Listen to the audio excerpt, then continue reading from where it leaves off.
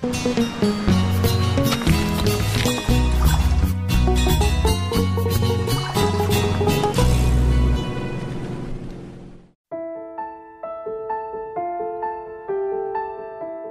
represa de Porto Primavera é um convite para quem gosta da vida ao ar livre.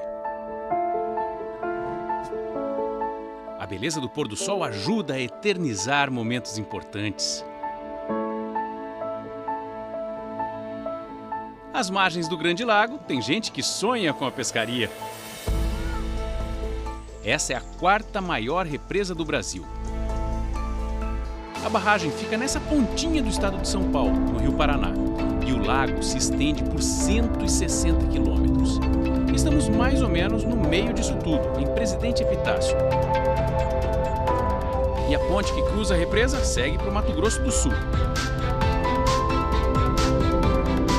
Num lago desse tamanho, é difícil perceber as distâncias com clareza. Aqui de onde a gente está, dá para ver a ponte, mas ela está a 10 quilômetros de distância. E de uma margem a outra, pode ter até 20 quilômetros, dependendo do ponto. É nessa imensidão de água que a gente vai atrás dos peixes. Nosso objetivo são os tucunarés, mas num lugar assim, até o próprio lago e também o que está nas margens pode nos surpreender. Então vamos embarcar. A descida até a represa é abrupta.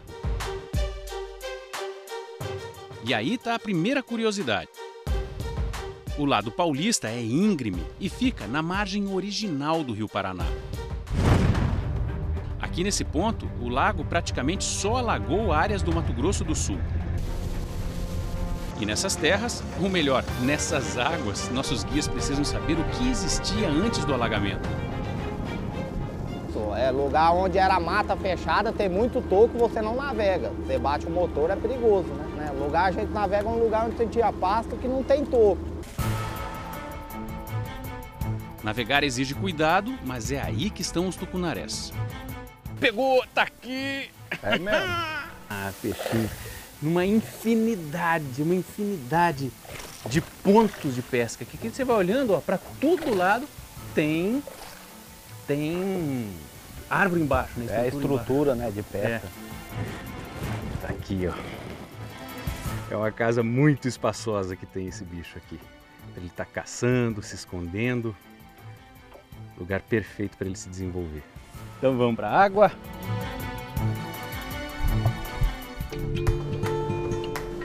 Dessa vez, toda a nossa pesca é feita rio abaixo em relação à ponte.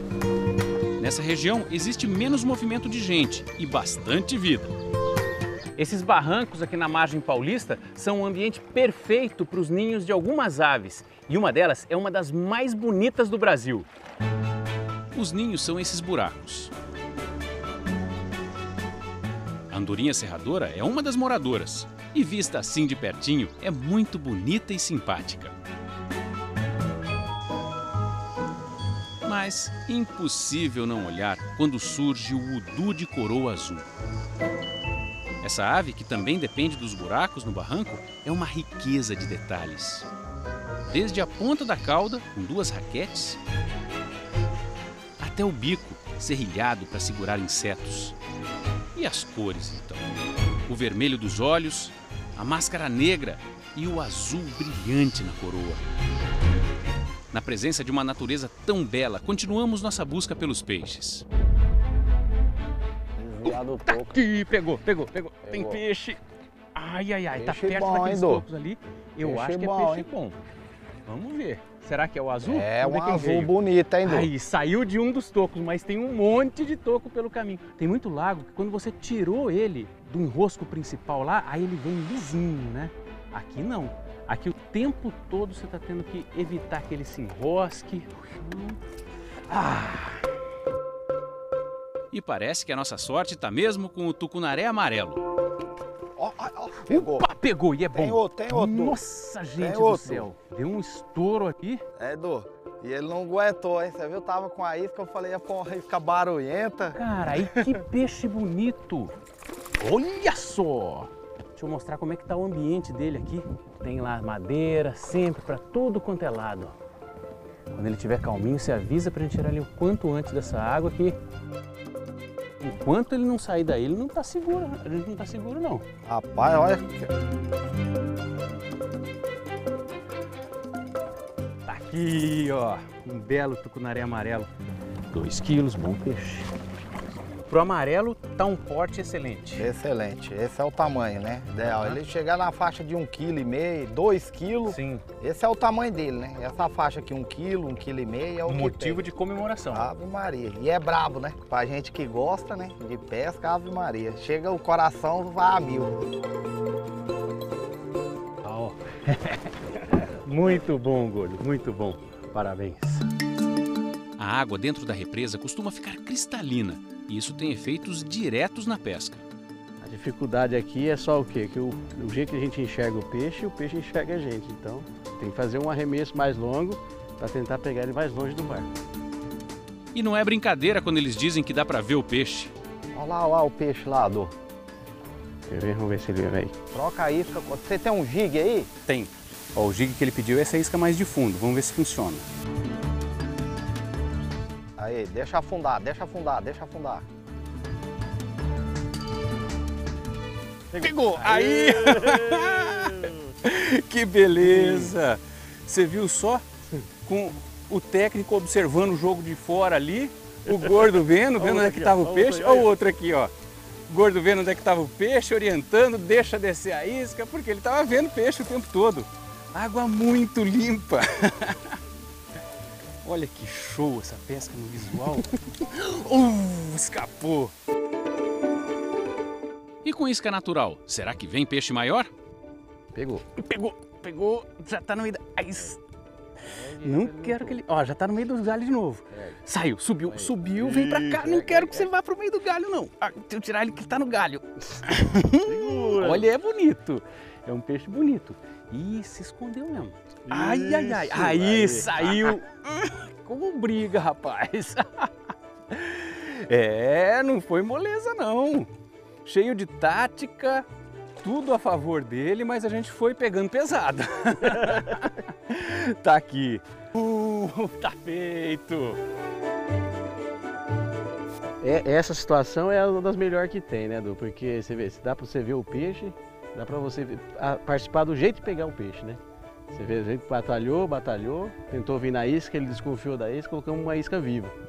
E foi o resultado disso aí. A gente fica contente de ver mesmo e fazer o trabalho mesmo para pegar ele mesmo.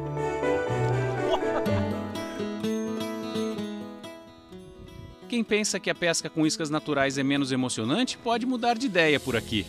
Quer ver? Chega mais pra lá, eu vou jogar mais naquele cantinho ali.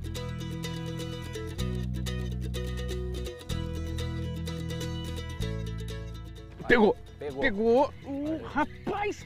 É bom, hein? Ele, ele quer ver? Tenta- jogar o barco lá naquela direção. Ele passou por 10 galhos diferentes. Ele pegou aqui, já enroscou no primeiro, ele tá lá na frente. Não teve brincadeira. Opa, saiu do primeiro. Agora vamos atrás do segundo galho. Se é que ele tá lá ainda, viu? Dá uma forçada para ver se ele tá aí. Vai, só forçar. Você tá conseguindo enxergar? Deixa eu ver aqui, presta aqui. Opa. Olha lá no topo Hum, lá. ó. verdade, Nossa, mas a linha tá verdade. por debaixo da gaiada aqui dentro. ó. E agora, como é que a gente vai fazer? Só se eu descer lá, mergulhar lá e tirar essa linha de lá de dentro. Nossa. Vamos tentar pegar esse bicho lá embaixo.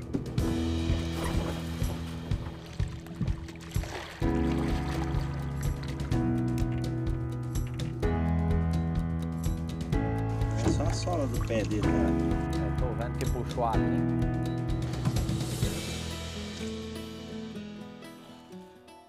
Tá tranquilo?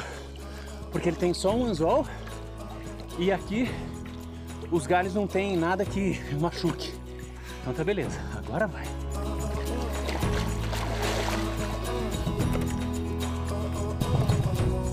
Pegou, né? Olha lá.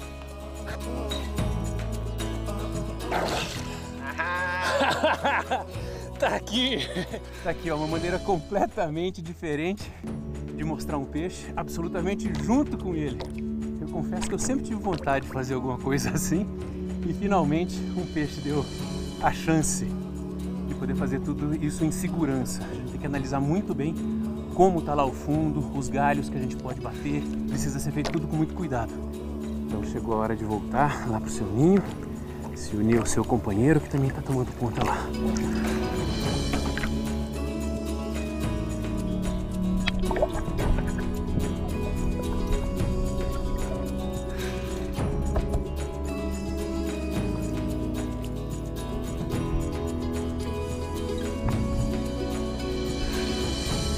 Uma pescaria para ficar na lembrança, com emoções do tamanho dessa grande represa.